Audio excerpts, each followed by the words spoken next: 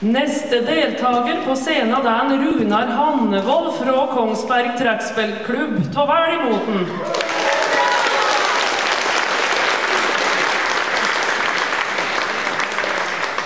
Han vil da spille vals i Bjørklundskoia av Ole Jacobsen, og nummer to Masurka etter Alf Omholt. Og både disse gamle spillmenn fra Sandsvær. Og så ønsker jeg lykke til.